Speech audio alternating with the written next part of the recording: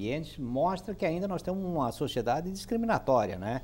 E aí eu, eu, dou uma recomendação, é, e os órgãos públicos que deveriam fazer acontecer não, não fazem. É então aí nós temos que ser inteligente e pressionar. Eu digo o seguinte, tem duas formas da gente fazer acontecer. Ou a gente pressiona o político, né, o político e o gestor público, e aí os movimentos sociais são importantes, e aí cria-se um comitê, e aí chama a imprensa no sentido de, de buscar alternativa e principalmente fazer cumprir a lei.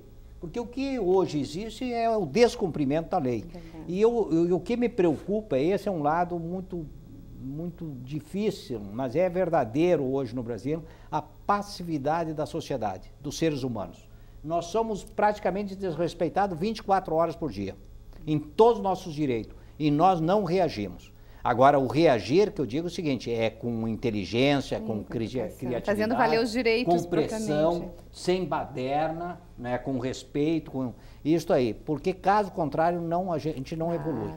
Mariana, mais só informações. Pra, só para encerrar, eu conversei, inclusive hoje, com o PROCON aqui de Porto Alegre e também com a Secretaria Municipal da Acessibilidade, perguntando justamente sobre como os consumidores com alguma deficiência podem proceder. Uh, os dois órgãos me informaram que o consumidor que não for atendido em suas demandas de acessibilidade nesses espaços pode e deve denunciar, registrar sua reclamação junto aos órgãos competentes, mas nenhum deles soube me informar número de estabelecimentos em Porto Alegre com acessibilidade, questão de multas ou autuações, nenhum tinha dado sobre isso para nos passar. Então, infelizmente, a gente começa a se questionar, né? Será que o poder público está realmente pensando na acessibilidade nos espaços para a população como um todo ou será que a gente ainda tem muito o que evoluir, né? Importante pensar no Rio Grande do Sul, 2 milhões e meio de pessoas com deficiência são é um público, segundo dados do último censo Sim. do IBGE, mais de é um número por volta muito de 20% grande. Né? da população Exatamente, é um número muito grande. Então, é importante a gente pensar esse público enquanto consumidor, né?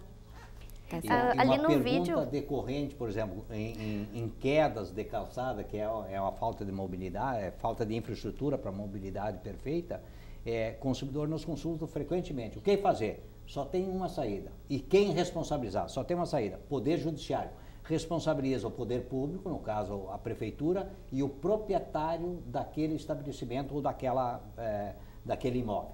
Porque os dois têm responsabilidade solidária.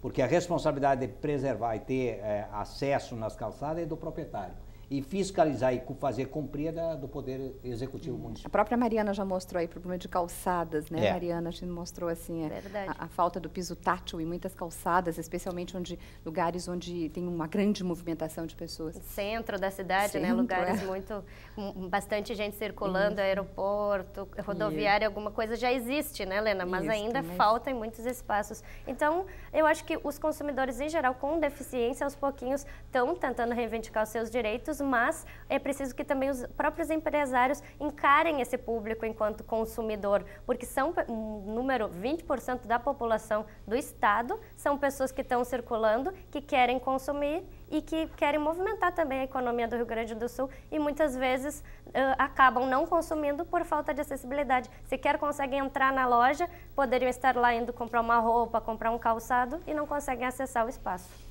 É uma mudança de comportamento que a gente vai, né, batalhando, mas vamos. A gente continua. Mariana, obrigada. Obrigada, Helena. Bom fim de semana. Igualmente, até. Tchau. E a gente agora faz um brevíssimo intervalo e já voltamos.